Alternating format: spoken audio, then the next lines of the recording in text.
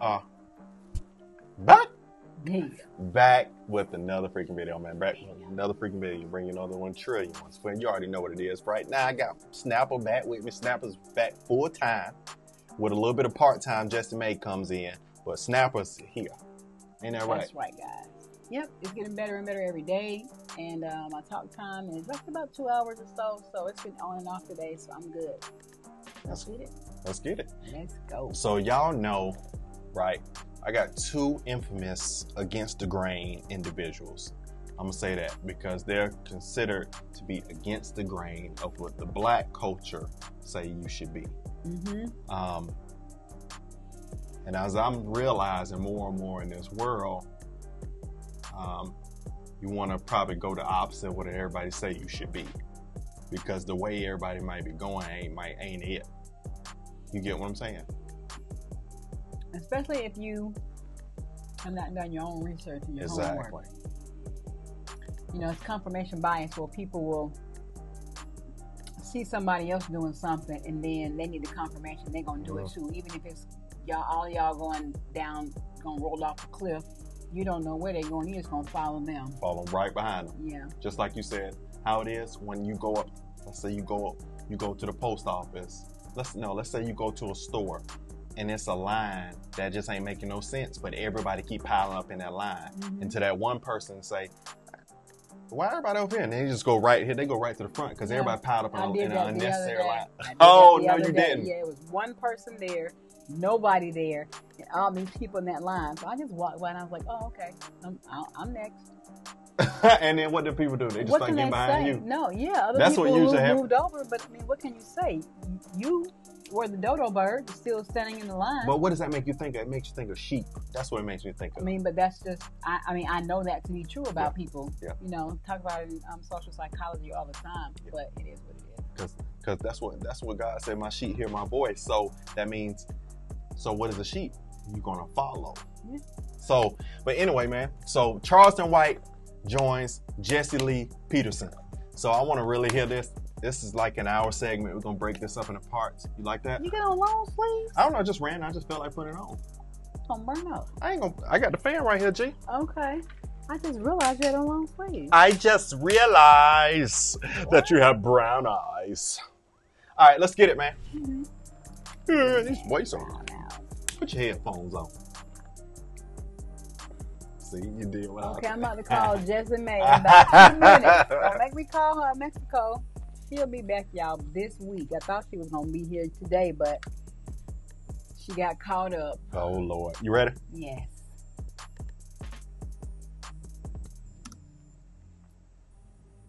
Uniting the race with truth instead of dive, dividing them with lies.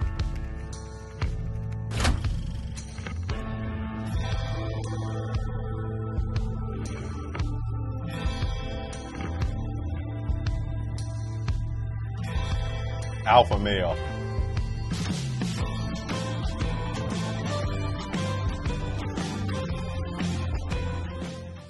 And by the way, like I remember, like so, just on a side note, it was just so interesting listening to Jesse Peterson's um, story. Like I didn't know his story. I just kept hearing everything in time without other people with the words they would say because they didn't like his choice on things. But if you hear his story, his story kind of be like, oh, I see. Mm-hmm. You know what I'm saying? hmm You can, you know, you watch that with me. You remember? Listen, hold on. You speaking from a stadium way up there in the stands trying to dictate to the players down on the field. You spinning the bullshit narrative, Mr. Peterson. Most game most listen, I'm you trying to you trying to spin a narrative of children join gangs, not grown adults with fully functional developed brains. No kid is saying, "Hey, I'm joining the gang cuz I'm looking for daddy."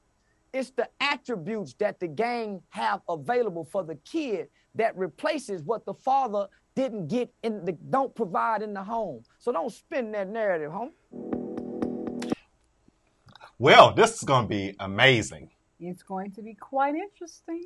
Quite interesting, That's the one that was got into it with Soldier Boy, right? yeah. Okay. You. Yeah.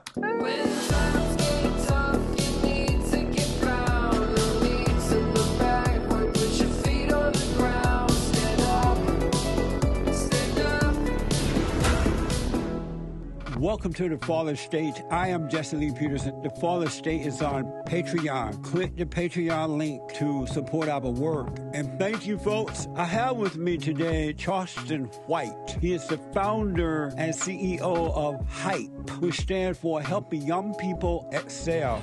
Charleston, thanks so much for coming on, man. I appreciate it. Uh, yes, sir. It's a, it's a pleasure to be here. Thank you, man.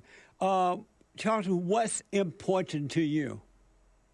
Uh, the future, uh, which uh, uh ultimately, to me, uh, is. And FYI, just like they said on the, on the video, viewer discretion and the vibes. I'm sure there might be some colorful language, but we're gonna keep on pushing on through.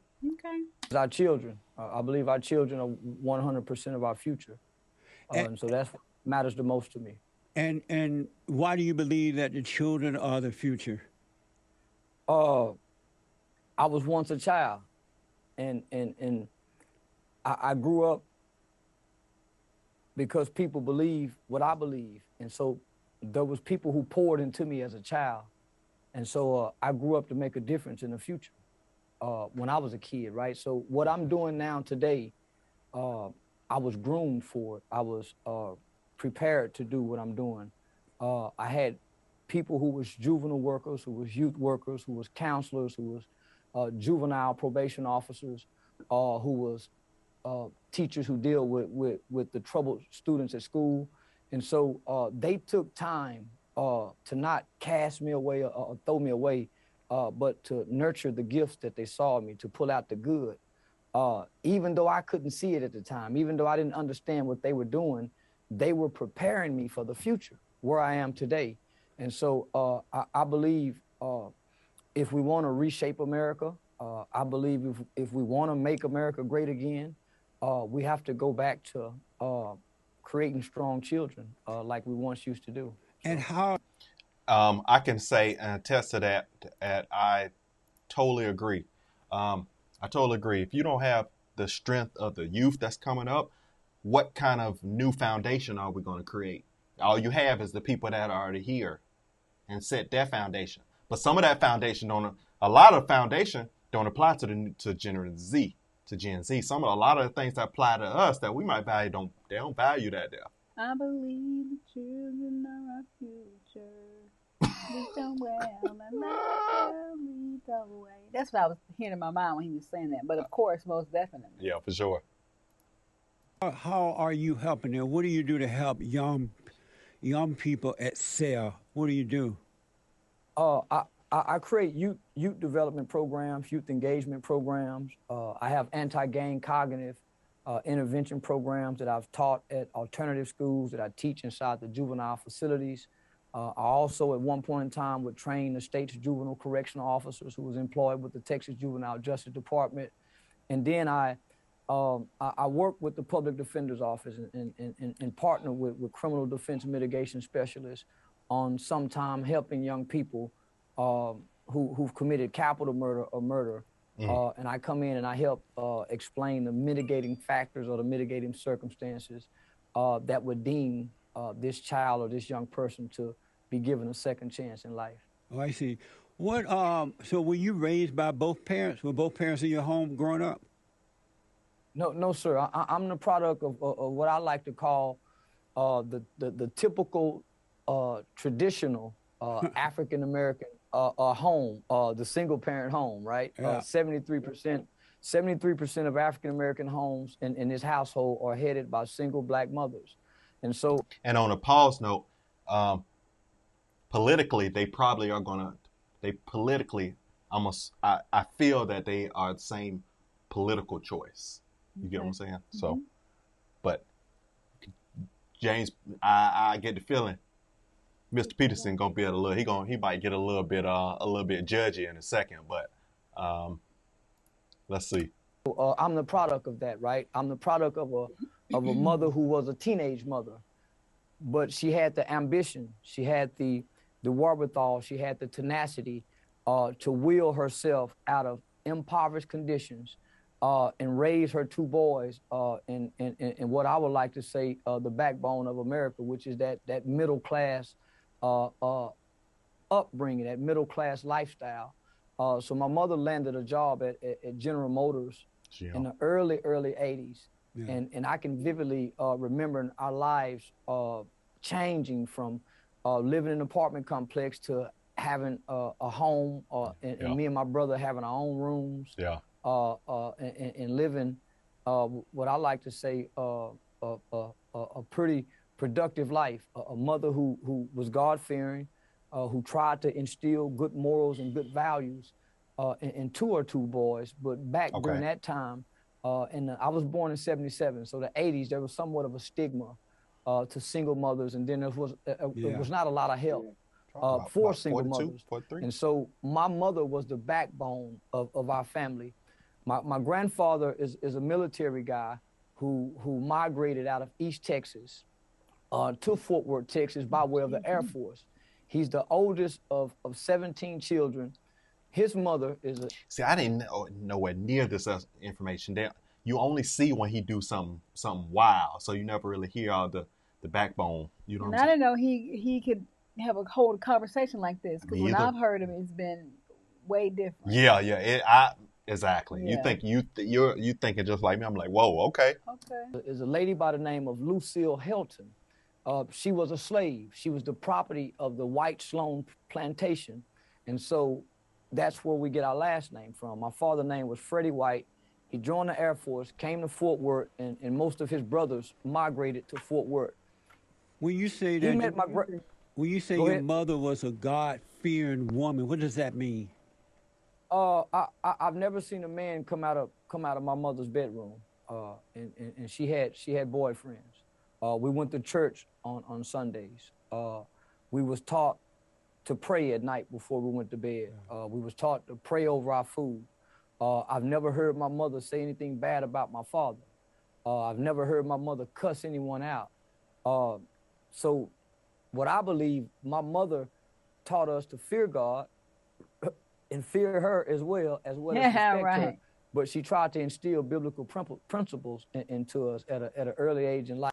I just that's wow. I mean, that just really blows me in a positive way. I mean that you know that he's saying this because I, based on his character that he um, portrays, Portrays on or YouTube, sh- I. I thought he would just grow up just Buck Wild household. Yeah. So he was that one that grew up. You know, you had you have all the luxury and jewels, but then I'm gonna cut up in the street, even though I have it all. I choose.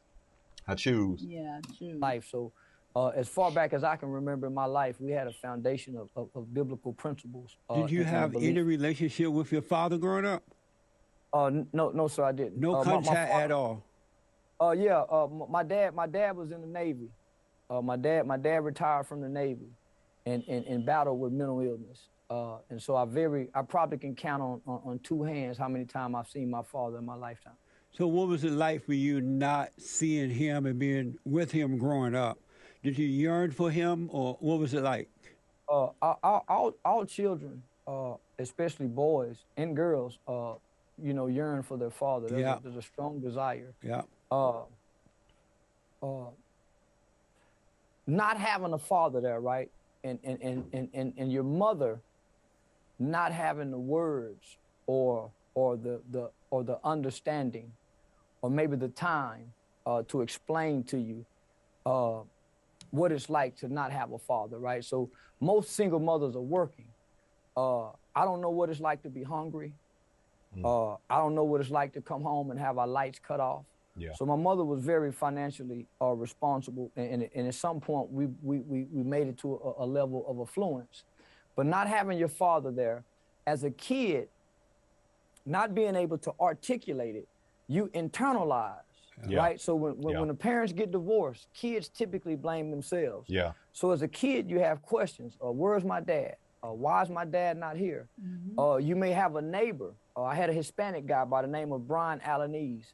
Uh, Brian Alaniz had a had a father, so I, I spent the night at, at, at Brian's house. Uh, spending the night at Brian's house gave me a dad at times, right? Yeah. So you, you get to see what a family structure look like. Then when you go home, you have questions. Uh, Yeah. You have internal thoughts. That was me. So as a kid growing up, mom working. So when I'm getting out of school, mom's going to work. You feel unloved, right? You feel rejected. then that turns into hurt. So there's a pain that that just simply revolves around the fact of a father being absent.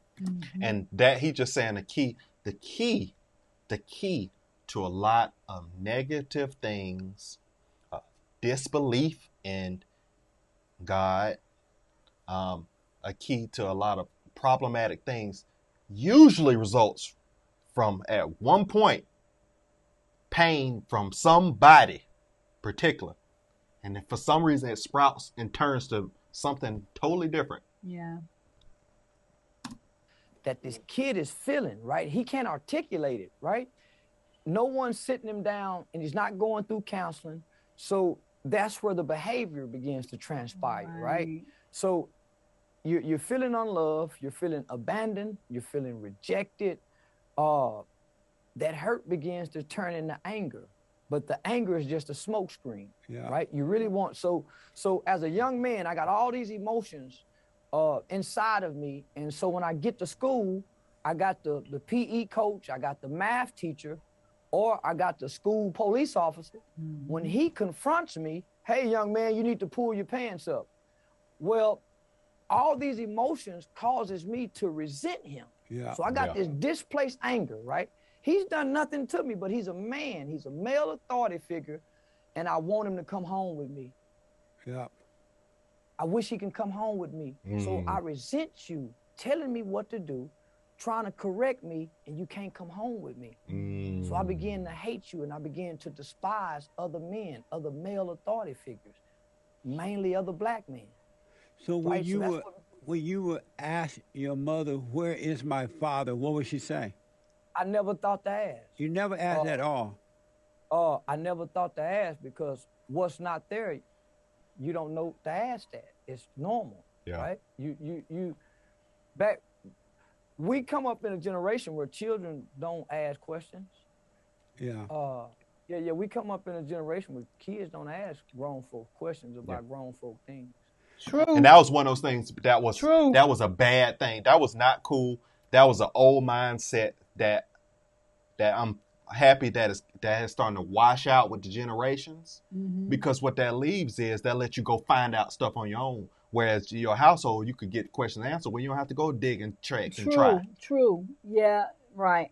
I, I mean, I feel like commu- communication is always a better, is like the best thing, especially when you know dealing with with children, and, and there's not, you know, if whatever the questions are, and you know, talk to the talk to your kid about it. Yeah. Even if it's something that you feel is inappropriate, talk to him, explain to him why you feel it's inappropriate and why you may not want to respond to the question, but just don't not because I don't, you know, I said so. Yeah. That's that's not it. Yeah, I agree. And I would rather I'd rather that child um, we have that conversation, whatever that is. Yep. Now, then you having that with your friends or whatever that is later. hmm Yeah, but I yeah, I, yeah, yeah. Uh, So You I just- read you that just- you you ended up being becoming a part of a gang when you were younger. What made uh, I you? joined. Go ahead. What uh, what made you get involved with gangs? Uh, what made you get involved with them? Uh, it was everything I was looking for. Uh, coming from a single parent home, never been never been spanked by a man, uh, never been disciplined by a man, uh, never been uh, corrected by a man, uh, never been hugged by a man, uh, never had a man say I'm proud of you, never heard a man say I love you. So uh, the the older guys in the game uh, gave me the affirmation uh, that I sought to have from a father figure. Did you know at the time you were doing it because you were looking for the love of a father?